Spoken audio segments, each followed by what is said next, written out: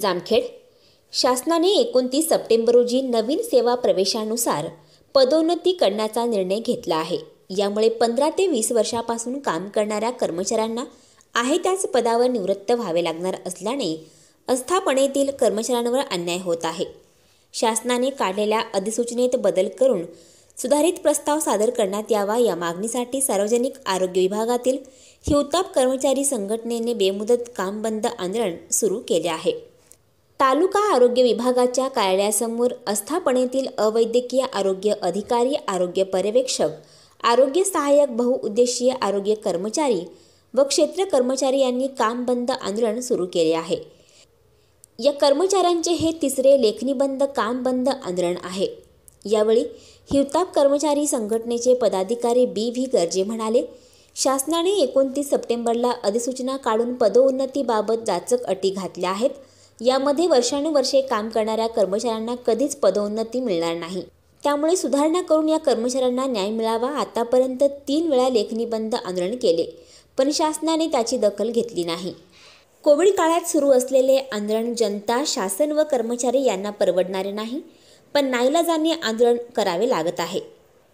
कर्मचाऱ्यांच्या मागणीची दखल घ्यावी याबाबतचे निवेदन तालुका आरोग्य अधिकारी डॉक्टर सुनील बोराडे यांना दिले. त्यांनी कर्मचाऱ्यांच्या भावना शासनाला पाठवण्याचे आश्वासन दिले.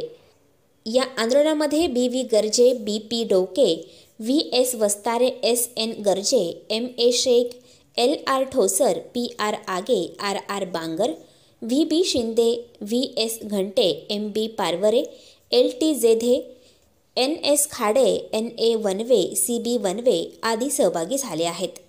प्रतिनिधी अशोक निमुनकर जामखेड. सेवा संचालना संचालनालयाअंतर्गत शिवताप विभागामध्ये आम्ही सर्व कर्मचारी आहोत. आणि आमचं मेन जो आंदोलन करण्याचा उद्देश आहे तर ते साधारण एकोणतीस सप्टेंबरला शासनाने एक अधिसूचना का- काढली. आम्ही सर्व जवळपास दहा वीस पंचवीस तीस वर्षापर्यंत सेवा झालेले कर्मचारी आहोत. आणि एकाच पदावर इतक्या वर्षापासून एकाच पदावर काम करत आहोत. आतापर्यंत शासनाची एक पदोन्नतीची साखळी आणि नियम ठरलेले होते. पण एकोणतीस सप्टेंबरला शासनाने एक अधिसूचना काढून त्याच्यामध्ये काही जाचक अटी टाकल्या. प्रमोशन संदर्भात जाचक अटी टाकल्यामुळं त्या अटीची पूर्तता करणं हेच आमच्या जीवन शक्य नाही कर्मचाऱ्यांनी. म्हणजे आज आम्ही त्याच पदावर जर शासनाने त्याच्यामध्ये सुधारणा केली नाही तर आहे त्याच पदावर आम्हाला रिटायर व्हावं लागतंय. म्हणजे आम्ही शासनाची इतकी सेवा करूनही आम्हाला पदोन्नतीचा कोणालाही लाभ मिळू शकत नाही. म्हणून त्या अधिसूचनेमधील काही कलम वगळून त्या अटीमध्ये सुधारणा करण्यासाठी आम्ही शासनाला जेव्हापासून ती या अधिसूचना निघाली तेव्हापासून अनेक वेळा पत्रव्यवहार केलेला आहे आंदोलनाची नोटीस दिलेली आहे शासनाला विनंती केलेली आहे. पण अद्यापपर्यंत शासनाने आमच्या आंदोलनाची आमच्या पत्राची आणि आमच्या विनंतीची कसली दखल घेतली नाही. त्यामुळं अत्यंत नाविलाज म्हणून या कोविडच्या का कार्यकाळात सुद्धा आम्हाला ह्या आंदोलनाचे आंदोलनाची असं आंदोलन करावं लागलं. हे अत्यंत म्हणजे नाविलाजन करावं लागत आहे आम्हाला.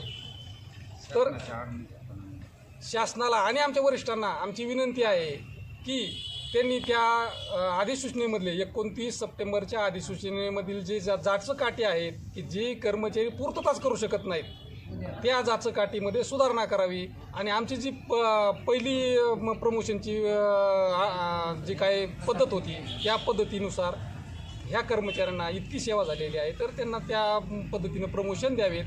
एवढीच आमची विनंती आहे शासनाला आणि आमच्या वरिष्ठ कार्यांना असा मला आशा आहे. आणि हे जास्त ताण आमच्याही म्हणजे जनतेच्याही दृष्टीने चांगलं नाही शासनाच्याही नाही आणि आम्हालाही नाही. या या अगोदर शासनाला आमचे जे आंदोलनाचे तीन टप्पे ठरलेले आहेत त्यासाठी दोन टप्पे झालेले आहेत आमचे. आणि तिसरा टप्पा जो आहे आता हा तिसरा टप्पा सुरू झालेला आहे आजपासून.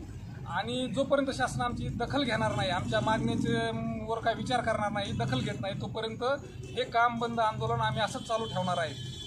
म्हणून माझी शासनाला विनंती आहे की त्यांनी डी एन डीएनए मराठीच्या बातम्या पाहण्यासाठी आणि अपडेट राहण्यासाठी आमचा चॅनल डीएनए मराठी लाईक करा आणि सबस्क्राईब करा. आपण बदला जग बदलेल. धन्यवाद.